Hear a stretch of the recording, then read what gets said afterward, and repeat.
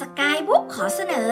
ดิจิตอลเพย์บุ๊กนิทานเสียงแสนสนุก ชุด หลวงตาเล่าชาดก เรื่อง นันทิวิสาลชาดก นันทิวิสารโคยอดกระตันยู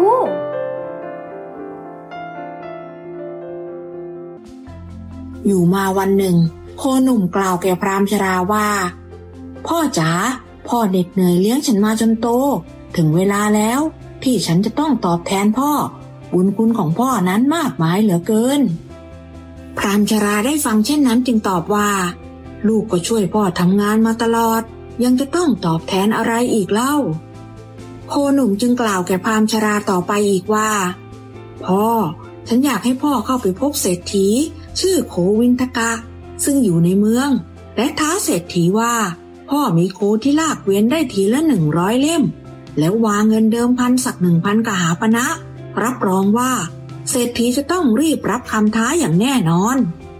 พรามชราได้ฟังเช่นนั้นก็ดีใจมาก ที่โคที่ตนเลี้ยงไว้ตั้งแต่เล็กจนเติบใหญ่ มีความกระตัญญูรู้คุณถึงเพียงนี้ พรามออกเดินทางในทันใดเพื่อไปพบเศรษฐี เมื่อเดินทางมาถึงข้าราชของเศรษฐีโควินทกะ พรามชราก็รีบเข้าไปพบทันที เศรษฐีเอ่ยถามขึ้นด้วยความสงสัยว่า เจ้าดันด้นเดินทางมาหาข้าไกลถึงเพียงนี้ มีเรื่องอะไรหรือ พรามชราตอบด้วยน้ำเสียงหนักแน่นว่า ข้าจะมาท้าพนันกับท่าน ข้ามีโคหนุ่มตัวหนึ่ง ซึ่งมีพละกำลังมหาศาล ฝ่ายเศรษฐีได้ฟังเช่นนั้นจึงถามว่า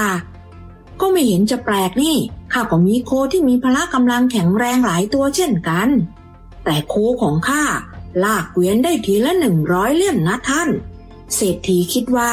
ไม่มีโคตัวใดทำได้เช่นนั้นแน่นอน จึงรับคำท้าทันที เราจะพนันกันสักเท่าไหร่ เศรษฐีเอ่ยถามหนึ่งพันกหาปณะพรามชราตอบโดยเร็ว ในคืนนั้นเอง เศรษฐีคิดย้อเย้ยว่า เจ้าพรามเท่านี่นำโชคมาให้เราแท้ๆ โคที่ไหน จะลากเวียนได้ทีละหนึ่งร้อยเล่ม แต่เอ ถ้าไม่แน่จริง จะกล้ามาท้าเราหรือ ถึงอย่างไร เราก็ไม่ได้ตกลงไว้นี่นา